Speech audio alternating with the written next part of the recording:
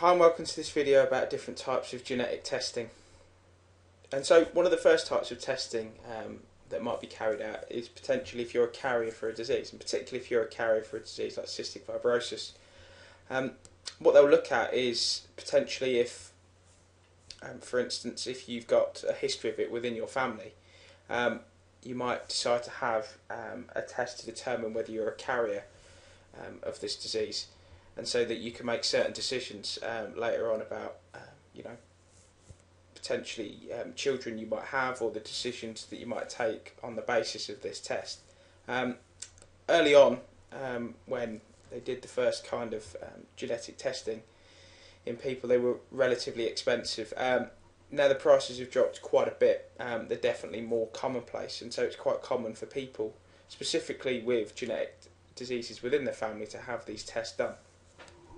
Now, genetic tests can not only be done to to identify a certain person's genotype, but they can also be done um, during pregnancy, or you can have prenatal testing um, that's done.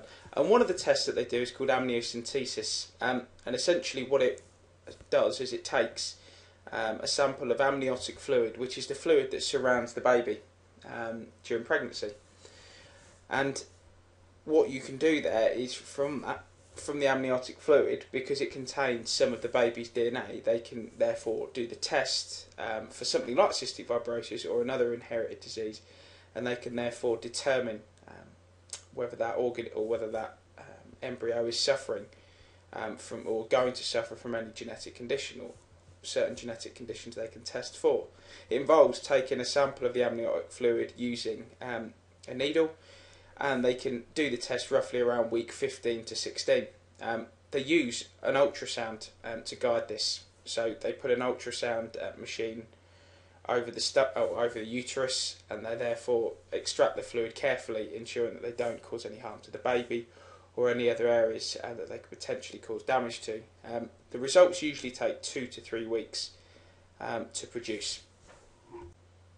So with amniocentesis, it will be carried out um, by also using an ultrasound machine in conjunction um, with the needle or the syringe that takes the sample of the amniotic fluid. Um, there are some other complications.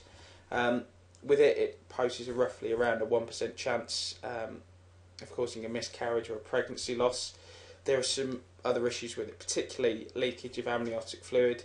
You can, you can also develop um, amnionitis, so therefore an inflammation of that area vaginal bleeding, and of course, if you're not careful, it can puncture the fetus um, with the needle. But one of the major drawbacks with the amniocentesis test is it can only be done late, so from week 15 to 16, and if the results take two to three weeks to come in, um, let's assume you have it done on that week 15 or 16, that gives you till week 19. Um, pregnancies generally last 39 weeks, and if, for instance, you were planning to, if you get a positive result for a certain genetic disease, that you might decide to have an abortion. Um, in the UK, the kind of the legal age of abortion is up to 24 weeks if you meet certain criteria, and so it doesn't leave you a huge amount of time. Um, so another test that can be done is called the chorionic villus um, sampling, or CVS as it's sometimes known.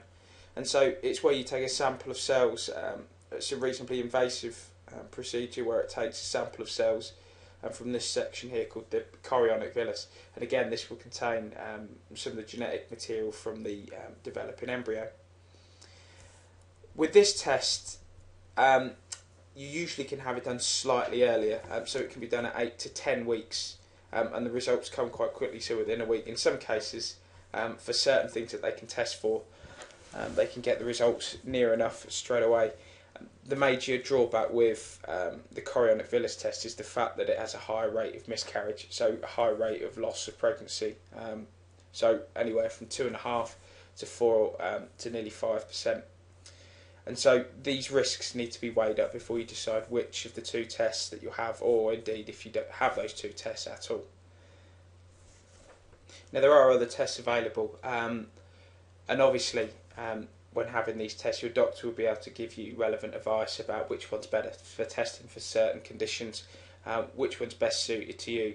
Um, but in general, um, the difference between um, the amniocentesis and the chorionic villus is the time at which you can take it. and also um, the risk of miscarriage. And so you can take the amniocentesis later, but it has a lower risk of miscarriage. With the CVS, you can take it earlier, but there's a higher risk.